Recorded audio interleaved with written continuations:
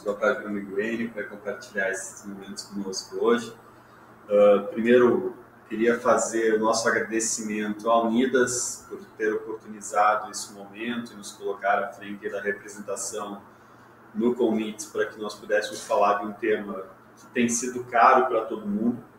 Agradecer a organização do evento do FISWIC 23, que vem mobilizando todo ano essa, esse, esse processo de inovação e as discussões com relação ao que vem acontecendo de diferente nos segmentos, de vários segmentos do mercado, inclusive o da saúde de forma mais potente no pós-pandemia. Acho que a gente conseguiu respirar um pouco mais processos de inovação mesmo. Né?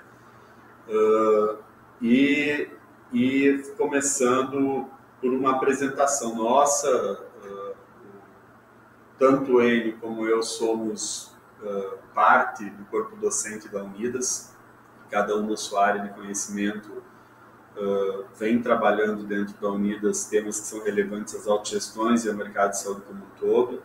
Eu, como enfermeiro sanitarista, venho trabalhando muito o segmento de atenção primária, o segmento de coordenação de cuidados junto da Unidas. Uh, venho empreendendo em algumas questões relacionadas ao mercado também para mobilizar as questões de integração de rede, porque acho que isso é uma coisa fundamental. E a gente vai falar um pouquinho sobre como que a inovação também vem mobilizando isso. Ele, boa tarde, fica à vontade para a sua apresentação. Tá. É, boa tarde, pessoal. É, agradecer a Unidas né, é, e o FIS né, pra, por essa oportunidade, um tema de enorme relevância. Eu também né, tenho trabalhado com a Unidas aí nessas discussões aí sobre alguns temas né, sobre os quais eu tenho demonstrado especialmente nos últimos tempos. Né? Trabalhei aí, fui executivo de operadora há muitos anos, mas tenho trabalhado com atenção primária, com reorganização do sistema e mais especificamente com saúde mental, né? que até vai me caber aqui uma, uma rápida abordagem sobre esse tema e a sua correlação, as suas correlações com essa chamada era digital. Né? Então, acho que teremos aí um tempo para uma boa conversa com vocês. Né? que a gente possa aproveitar e vocês também, obviamente.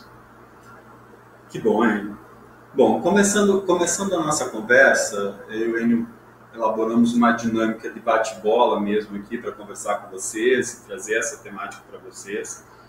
E, e, obviamente, não tem como a gente fazer isso sem uma contextualização do momento da, da coordenação do cuidado, principalmente desse momento de gerir cuidados pós-pandemia. Né? A gente sabe que, principalmente no Brasil, a pandemia foi um impulsionador de inovações, principalmente no que diz respeito às tecnologias de apoio, às tecnologias de suporte ao cuidado. E, e eu acho que esse é um primeiro conceito, N colegas, que a gente tem que discutir nesse momento, ou seja, uh, as questões de, do digital health ou do, da tecnologia de saúde, elas aparecem no pós-pandemia para nós muito numa lógica de meio. Uh, e a própria telemedicina pós-2018, quando ela começou a nascer de forma formal no Brasil e foi restrita por, por motivos outros, ela vem a se reforçar no pós-pandemia. Estes canais digitais, seja por vídeo, seja por WhatsApp, seja por outros mecanismos de comunicação, também aparecem como suporte de cuidado e com eles nasce um desafio, ou seja, a tecnologia aparece para ajudar e apoiar alguns gargalos que nós tínhamos no ecossistema, principalmente saúde suplementar, elas aparecem com os benefícios devidos de suporte à questão da gestão do cuidado e a coordenação do cuidado, principalmente acelerando os processos de interação, acelerando os processos de acompanhamento e navegação do cuidado, mas ela também traz outros fatores agregados que precisam ser bem geridos. Né? Um pouco do que nós vamos conversar hoje à tarde é, além de trazer essas questões necessárias de uma boa gestão, desse meio tecnológico, da aproximação dos meios de inovação do cuidado e da coordenação do cuidado, também como que a gente olha esse ambiente de inovação com relação às pessoas. seja a pessoa cuidada, seja a pessoa que cuida, porque, enfim, provocamos mudanças nas práticas, onde antes, obrigatoriamente, o, o preparo do médico de pronto-socorro era um preparo clínico presencial, hoje a gente já sabe que o PA virtual é uma realidade na maior, na maior parte do sistema e funciona principalmente bem numa realidade como a do Brasil, que é muito ampla, pois facilita um primeiro acesso. A gente sabe também que troca de comunicação através de um sistema mobile funciona muito bem, porque ela consegue acessar mais rapidamente a prática e a, e a, e a interação entre profissional de saúde, o serviço de saúde e paciente, mas ela também pode causar um excesso de interlocução e fazendo com que muitas vezes o que era para ser um movimento de aderência traga, traga resistência por parte do paciente. Então, olhando essa, esse ambiente, olhando para esse cenário, Enio, como é que você vem percebendo essas tecnologias exatamente como apoio ou como mecanismos assistenciais?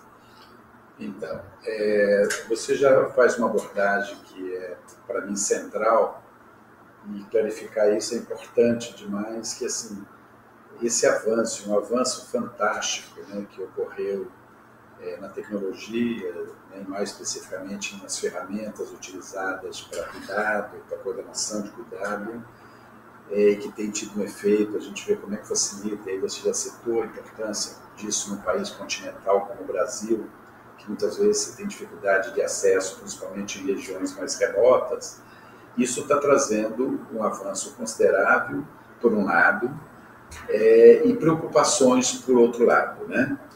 Eu, eu até por conta do meu viés aí de trabalhar a questão da saúde mental, né, e com uma preocupação específica também em relação à população de idosos, a gente viu agora o resultado do censo, né, o crescimento da população de idosos, é uma coisa impressionante e vai exigir cada vez mais do sistema, e em especial previdenciário, do sistema de saúde, cuidados é, muito específicos e competentes para dar conta dessas necessidades que cada vez né, vão ser mais intensas em função do aumento do contingente populacional. Né?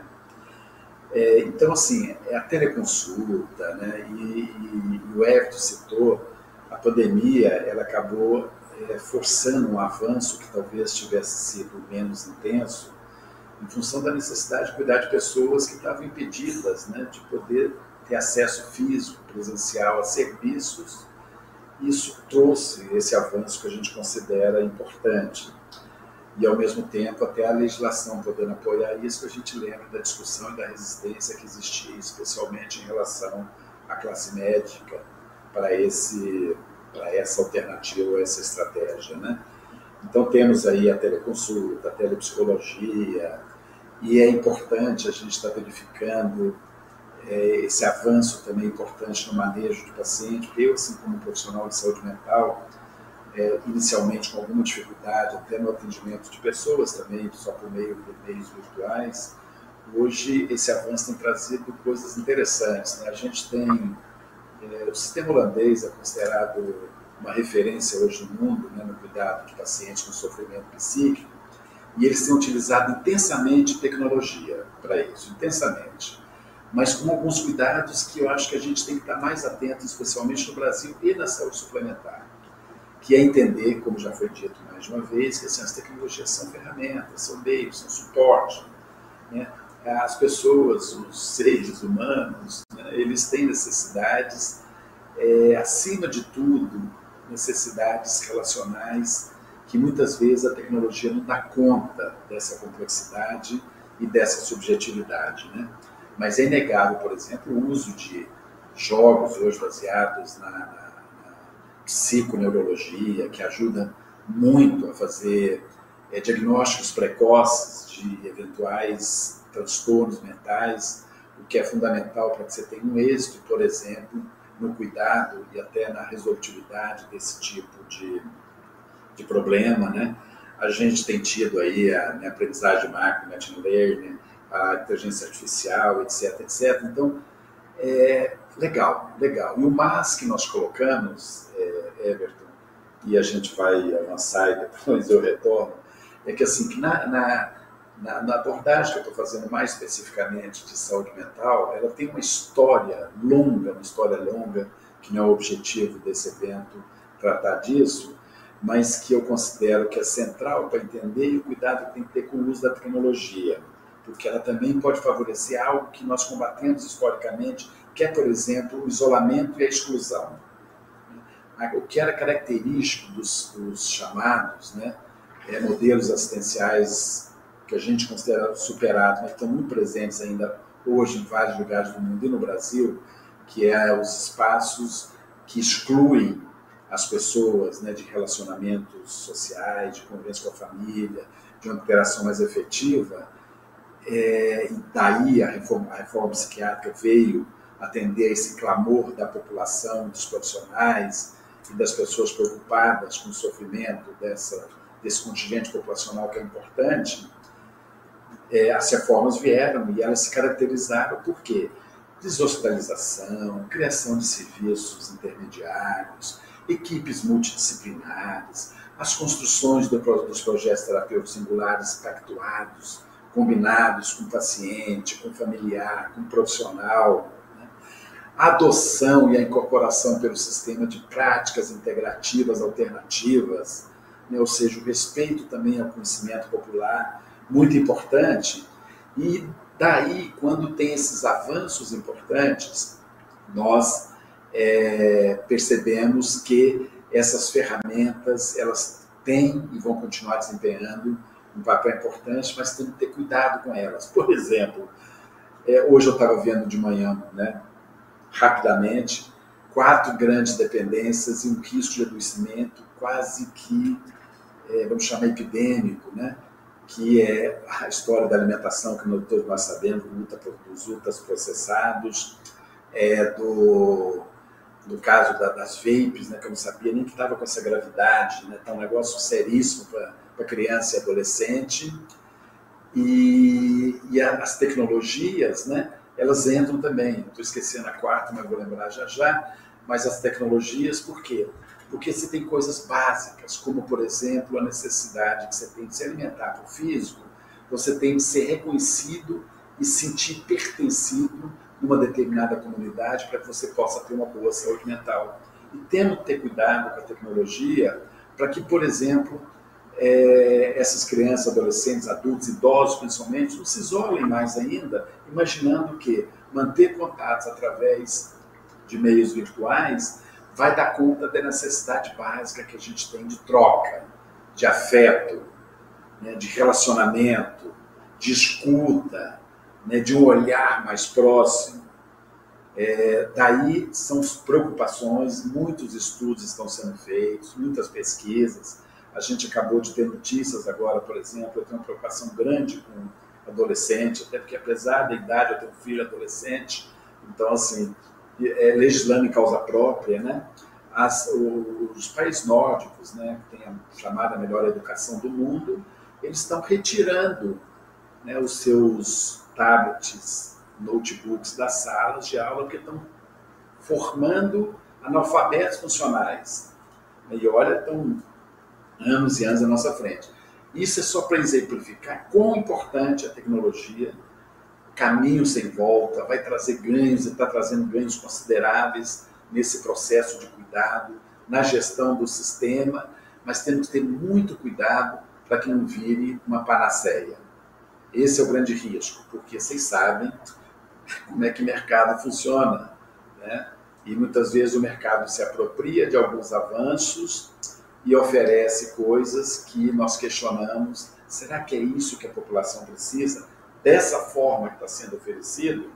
É o mesmo questionamento que nós fazemos, eu, Everton também, em relação à proliferação de ofertas tendo, estão tendo de atenção primária, quando você vai ver o que está sendo colocado à disposição da população para um número significativo de, de, de, instituições, não é de fato que as pessoas precisam. É, foi uma adaptação a uma lacuna ou uma necessidade do mercado. Então, quando nós olhamos a tecnologia, repito, bem-vinda, ajudar, facilitar a coordenação, né, melhorar demais, ainda mais com esses avanços, é a possibilidade de, por exemplo, como eu falei, diagnóstico precoce, intervenção adequada, mas, pegando de novo o exemplo da, da Holanda, né, eles têm uma equipe de sete, uma equipe muito profissional de sete profissionais cuidando do número pequeno de pessoas. Né? E aí eu estou falando muito do idoso, do idoso e com questões de saúde mental graves. Né? É... Ah, é muito, né? isso é viável. Então são discussões que nós estamos fazendo, a gente vai ter que fazer mais, uhum. mas para não cair nisso, que é muito comum, nossa, né? agora né, essa é a nova solução de sustentabilidade do mercado, é a nova solução. Não, não é a nova solução. Isso aí é mais uma estratégia importante a ser considerada, mas ela não vai é, garantir esse desafio enorme colocado para todos os sistemas do mundo, e agora falando mais especificamente da saúde suplementar, que é garantir sustentabilidade, equilíbrio econômico-financeiro. Mas tem uma contribuição a dar, sem dúvida nenhuma. Né? E, e, eu acho, ainda também, que, que aproveitando um pouco desse, desse desenvolvimento que você faz, que traz exatamente no centro o, o, o tema dessa conversa nossa hoje à tarde, que é o processo de gestão.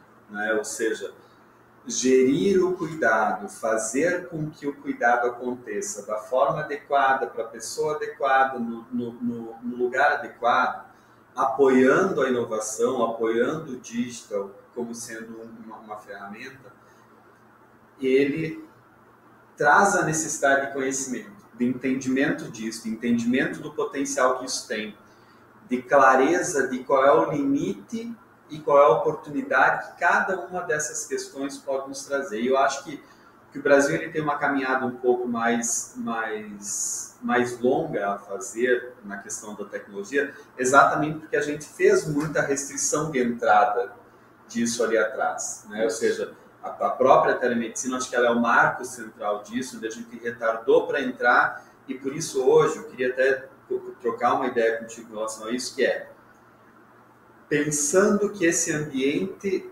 de digital não volta mais atrás. A gente tem que aprender a conviver e tratá-lo e utilizá-lo da melhor forma possível nesse processo de gestão de cuidado. Mas pensando que também temos um ambiente em transição de conhecimento da prática profissional que não estava preparada para fazer dessa forma, porque todos os colégios que tratam essa questão usando como centro a telesaúde ou o teleatendimento é o seguinte, não é só pegar a mesma prática de consultório e levar para o ambiente de vídeo. Todos aqueles que ambientes que estudam dizem o seguinte: não é simplesmente trocar o laudista do raio-x ou do ultrassom ou do, do, exame de imagem por uma inteligência artificial e achar que isso vai andar como dantes. Existe um processo de transformação e qualificação desse ambiente, primeiro, que começa pelos profissionais. E também existe um ambiente de transformação e adaptação que, segundo, passa pelo receptor e por aquela pessoa que está no centro disso, que é o paciente.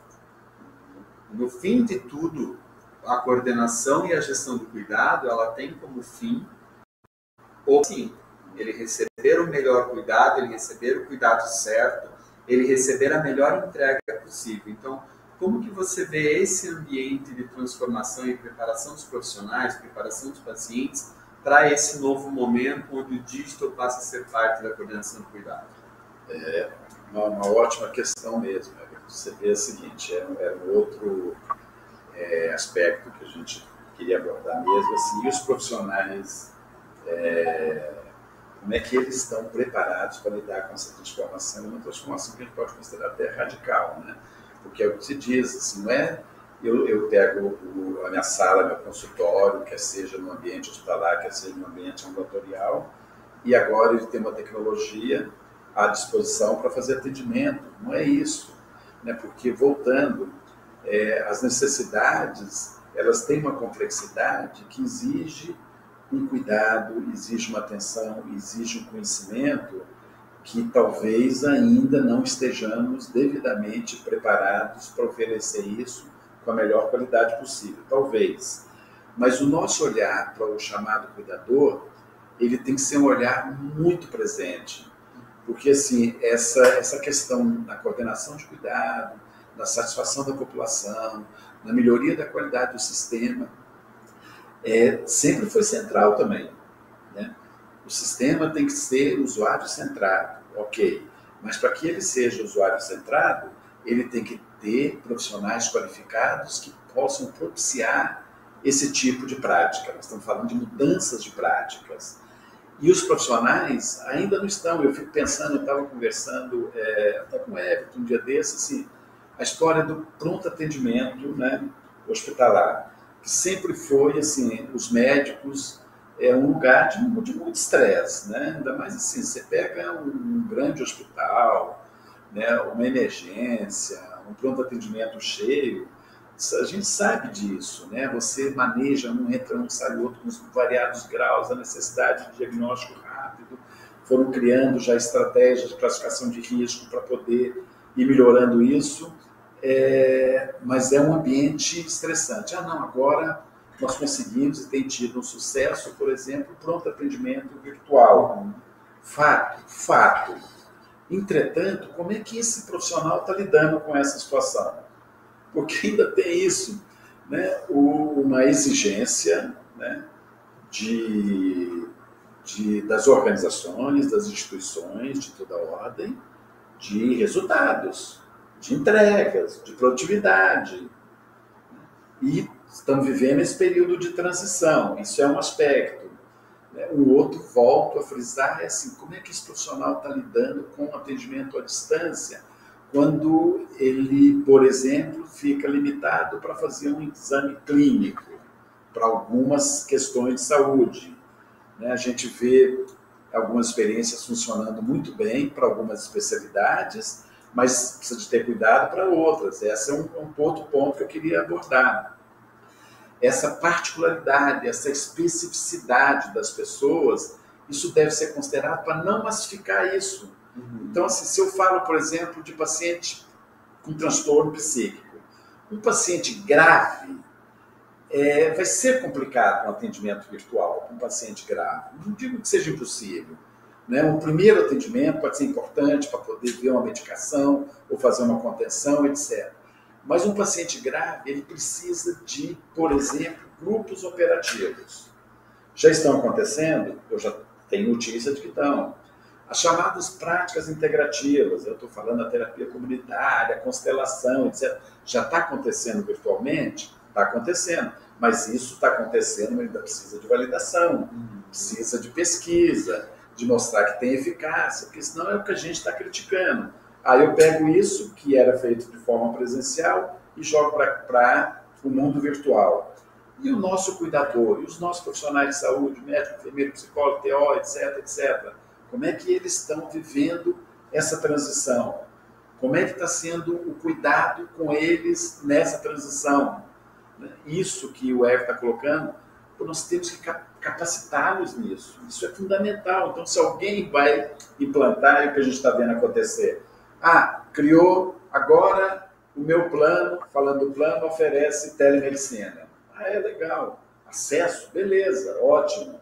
Entretanto, aquele profissional que está ali por trás, que vai oferecer, não foi dado a ele condição nenhuma, desculpa, além da que já está dado. Ou seja, ele está ali com monitor, com a mesma prática, com a mesma experiência, para fazer um atendimento virtual.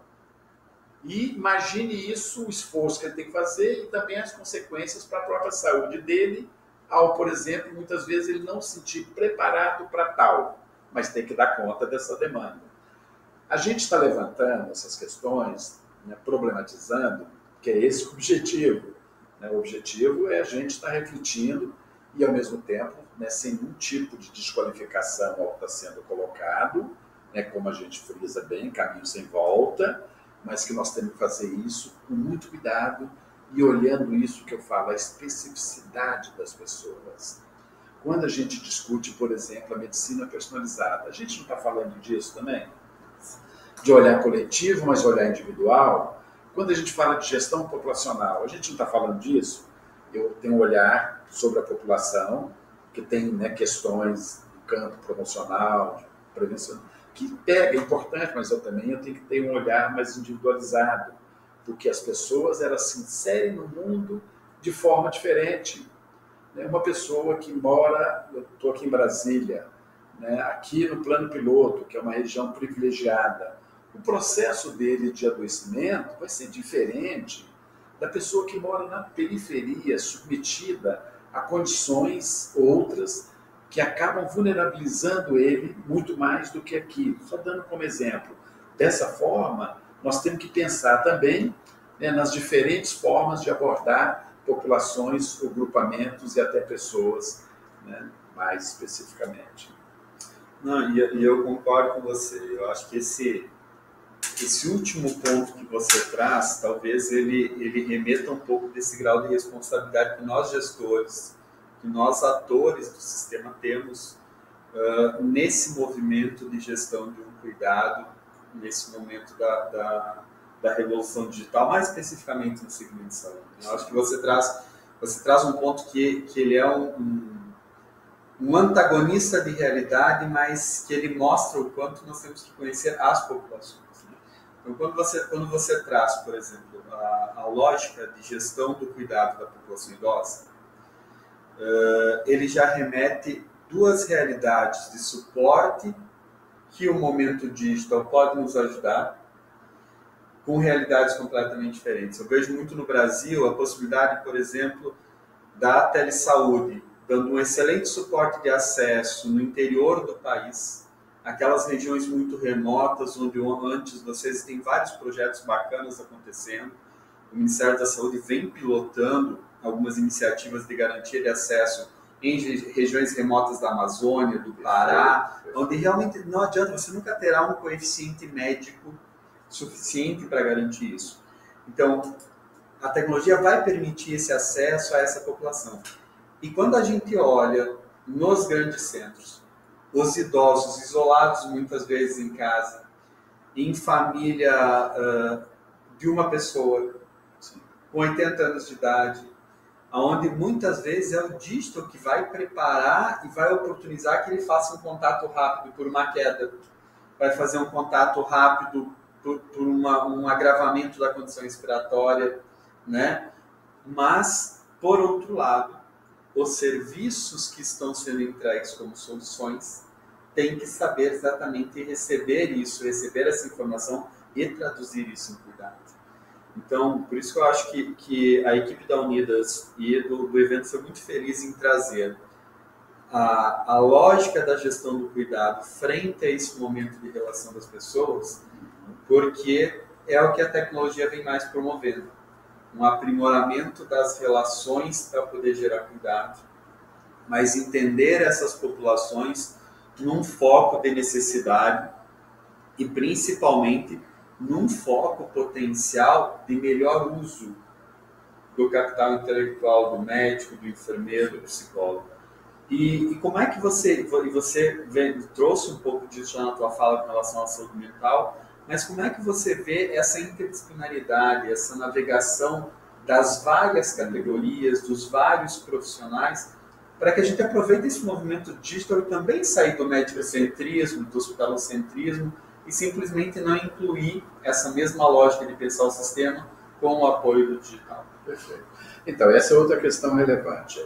Veja bem, é, a gente vê na realidade, muito frequentemente, é por conta de aspectos que são considerados relevantes, importantes na gestão do sistema, como, por exemplo, ah, o meu serviço é, ele valoriza o, a equipe multidisciplinar. Tá legal. É, é, importante o aporte dos vários conhecimentos para esse processo complexo de cuidado. Tá ok. Entretanto, frequentemente a gente vê a fragmentação dessa chamada multidisciplinaridade. Né? Então, assim, eu vi algumas experiências há alguns anos interessantes na saúde mental, e nunca esqueci de uma que ocorreu no Hospital Pinel, lá na década de 90, no Rio de Janeiro. Eu ouvindo uma, uma psiquiatra jovem, brilhante, lá da UFRJ, falando, disse, olha, a escuta conjunta dialetiza o conhecimento, mas ela está falando em escuta conjunta. Né? Uma escuta conjunta significa transformar a escuta num outro tipo de conhecimento, que aí é o conhecimento resultante dessa troca, dessa troca dos profissionais.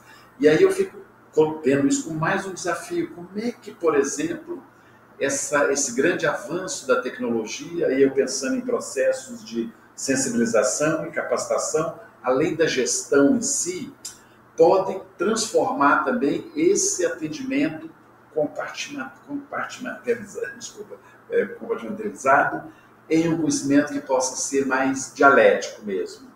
Né? Que esses profissionais possam colaborar com aquilo que é específico, mas aquilo que é específico criando né, esse caldo, esse caldo de conhecimentos é, que possam dialogar entre si, porque se nenhum deles é suficientemente é, é, pronto né, para que dê conta dessa coisa que a gente chama de complexidade da existência humana. E aqui não estamos falando, por isso é importante, o F-Star já idoso, ter algum problema em casa, a tecnologia pode me ajudar com é, um socorro imediato Imagine quantas vidas podem ser preservadas em função disso. Agora, ser humano, ele não é composto só de sinais e sintomas. Isso é só um tipo de olhar. Por isso, essa discussão de que nós temos que superar o modelo médico centrado. Né? A, a chamada né, medicina organicista, biologicista, entendendo que, assim, quando eu falei que as pessoas adoecem de forma diferente, de acordo com a condição que ela está inserida também socialmente, isso é claro. Então, na hora de eu olhar e cuidar dessa pessoa, eu preciso ter isso em perspectiva. E nada com esse olhar transdisciplinar para me ajudar a eficácia maior naquilo que é o desejo de todo o sistema de saúde, que a construção de projetos terapêuticos singulares, efetivos, resolutivos, e que tragam aquilo que a pessoa precisa de fato, que é uma qualidade de vida melhor, independente do grau até de cronicidade que ela atingiu em função de fatores como idade, etc, etc. Né? Então esse desafio está colocado, né? que eu acho, não estou vendo ainda mas como é que a tecnologia está ajudando tanta coisa, pode nos ajudar a superar essa forma, essa prática que muitas vezes se diz né, multidisciplinar, mas ela é desintegrada, porque é um conhecimento, um conhecimento, um conhecimento, mas eles não dialogam e, acima de tudo, eles não se transformam em algo que possa ser mais substancial e resolutivo para esse cidadão, essa pessoa que está ali sofrendo por alguma razão. E, e, é, e, é, genial a tua crítica, porque, você coloca você coloca uma coisa, você coloca a mesma coisa, a mesma preocupação que eu tinha sob uma ótica de crítica extremamente relevante nesse mundo. Se coordenar cuidado de forma multiprofissional já era um desafio transformar em interdisciplinar com essa equipe junta, no mesmo local, no mesmo ambiente, no mesmo serviço, olhando para as mesmas pessoas, como que eu organizo isso como gestor de serviço como que eu contrato isso como fonte pagadora, como contratante de serviço, sendo que pode ser que essa equipe esteja um no Paraná, um em Santa Catarina, no Rio de Janeiro, organizado de forma digital. Então, acho que uh, tem muito se falado nos fóruns a necessidade de se pensar bases integradas, de se pensar protocolos únicos, de se pensar mais que isso, hubs de informações que alimentem as tomadas de decisão clínica e de gestão. Então, assim, é genial porque, porque traz exatamente a provocação que, que o evento e que a Unidas nos trouxeram como, como discussão, que é como que eu promovo essas relações em prol da gestão? Como que eu faço esses profissionais conversarem e mitigo esse risco do estancamento dos silos, né? Porque uma vez que eu permito que o Everton, como enfermeiro, atenda dentro da mesma equipe de um consultório em Santa Catarina, porque ele está integrado digitalmente com o Enio lá no Rio Grande do Sul. Mas se isso junto gera um desafio, como que eu promovo isso? Então, não tem como voltar atrás. Esses canais serão utilizados, esses modelos de serviço serão montados, mas eu acho que é genial a provocação, porque ela traz exatamente essa necessidade de pensarmos como gestores de serviço, como contratantes de serviço, como que isso realmente vai promover uma melhor coordenação de cuidado. Como que você vê os atores hoje se preocupando com isso? Que, que ambiência tu vê? O pessoal está preocupado com isso mesmo? essa, essa é uma boa provocação. É, mais ou menos, mais ou menos. Pelo menos assim, falando um pouco mais da saúde que a gente conhece com um pouco mais de profundidade, é, as discussões elas são mais ou menos as mesmas há bastante tempo. Há bastante tempo. Então, assim, quando você aponta é, quais são os fatores, é, os principais, vamos chamar, ofensores, ou fatores que dificultam a sustentabilidade, a gente cai. Ok. A gente cai mais ou menos nas mesmas coisas, inicialmente, né? Então, assim, lembrando né, dos últimos anos, ah, uma forte atenção primária vai resolver o problema do sistema. Uma mudança de modelo de remuneração vai resolver o problema do sistema. Agora é a interoperabilidade que é fundamental para poder fazer a gestão da população. É, essas coisas são faladas infelizmente, pouco praticadas. E aí fica o desafio, mas por que, que elas são pouco praticadas? Né? É, sei lá, a gente pode ter inúmeras, é, inúmeras respostas para isso. Uma delas, e aí é delicado que eu vou colocar, mas é real, é a superficialidade das análises em relação aos verdadeiros é, problemas, eu digo em termos de serem dissecados com profundidade. Né? Precisa mais isso no sistema. Então, se eu falo, por exemplo, nós estamos discutindo aqui a importância da equipe é multiprofissional e a prática transdisciplinar no cuidado da população de todas elas. Tá legal, fundamental. Né? Vamos sair do modelo médico centrado, perfeito. Mas como é que eu vou pagar isso? Porque eu estou falando, inclusive, na agregação de práticas integrativas grupais. Né? Grupo operativo, é, é, é, psicodrama, é, constelação. Como é que eu vou pagar?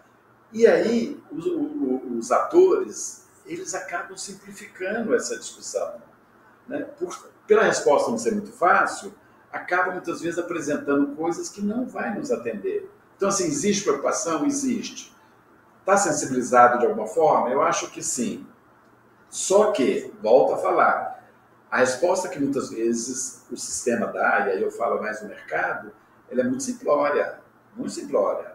Né? Então, assim, ah, se eu posso, se hoje eu tenho um recurso como telemedicina, eu posso né, ampliar esse número de atendimento e pagar por um atendimento ao invés de, sei lá, uma, falar uma consulta de convênio, deve estar, não sei, hoje 200, 150 reais, aí eu pago 35. Ah, que ótimo, então agora eu pago 35 reais por uma consulta. Né? Mas do jeito que ela está configurada, sem ter essa sustentação da mudança de princípios e valores para sustentar na prática, que é feita com a utilização de ferramentas muito potentes e modernas, eu acho que nós corremos risco de colocar tudo isso a perder. Então, assim, vamos estar tá dando tiro na água novamente. Então, essa base de sustentação das ferramentas, ela é uma base que ela tem que ter consistência pela complexidade e pela profundidade que é cuidar de gente. Cuidar de gente porque, é, lembrando do poeta, poeta mineiro, é, a vida exige coragem. Né? E quando ele pega essa frasezinha, o que ele está dizendo assim, olha, a vida não é fácil não. A vida não é fácil não, ela exige coragem. E exige coragem significa uma série de outros atributos que são necessários para a gente dar conta dessa nossa, desse nosso percurso aqui. E cuidar das pessoas, cuidar das pessoas com afeto, competência, resolutividade. Isso é toda a diferença de qualquer sistema, independente das ferramentas. E se essas ferramentas nos ajudarem, e elas vão nos ajudar, que ótimo, que nós vamos estar ampliando a possibilidade de cuidar bem das pessoas de uma forma que nunca antes na história foi possível fazer. E agora é possível. Principalmente as populações mais desassistidas ou mesmo as mais vulneráveis, que podem ter acesso ao estado da arte em termos de cuidado. Né? Agora, os atores, mais do que sensibilizados, eles precisam conhecer mais. Essa é a crítica que eu faço. Eles precisam conhecer mais, porque não é simples cuidar de gente. É, eu acho que, que esse é o recado final mesmo, né? Infelizmente o tempo, o tempo não passa, ele voa, né? E aí quando a conversa é boa, parece que ele acelera um pouco mais. Queria reforçar o agradecimento aí ao Enio, acho que o, o tempo a gente sabe que ele é caro para todo mundo, ainda mais nos dias de hoje.